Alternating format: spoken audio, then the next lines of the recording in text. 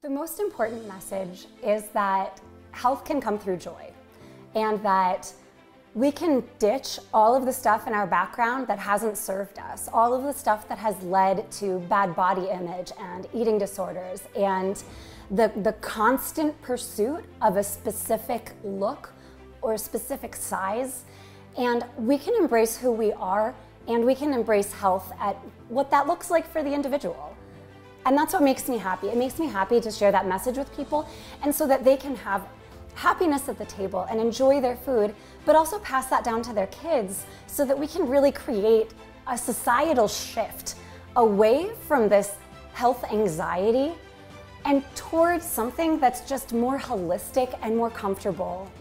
I'm Yaffi. I'm a registered dietitian nutritionist. I live in Chandler, Arizona, and I've got twins plus a bonus round who you might hear in the background because motherhood. Um, but I love connecting with people. I love sharing the message that health can come from happiness and joy in food and food enjoyment. Isn't that fun? Do you hear that crunch? Do you feel the crunch in your fingers? Yeah. And that we don't have to torture ourselves. We don't have to restrict and weigh and, and, and constantly take up that valuable mental real estate thinking about all the ways where we're failing when really there are so many ways we're succeeding. Food is our culture. It's our individual culture and it's our collective culture. It's our history and it's our future also.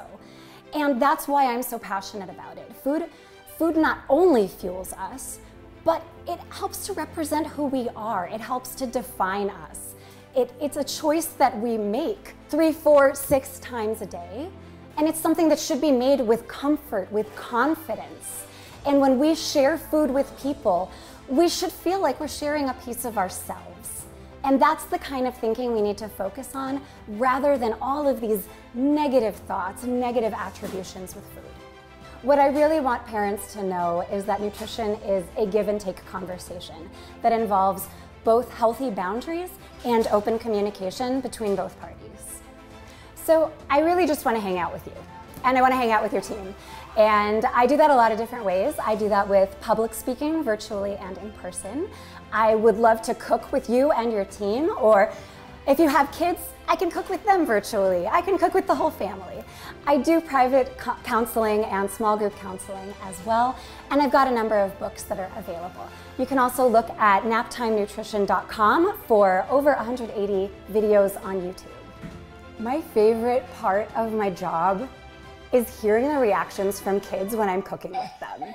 You know, when they, when I can watch their faces as they squeeze an avocado you know, because we're not making guacamole by scooping out the avocado. That's, that's too easy. We're gonna squeeze it and seeing their faces as they see that green gunk just fall in the bowl, that's my favorite. The best way to reach me is by emailing yaffi at babybloomnutrition.com.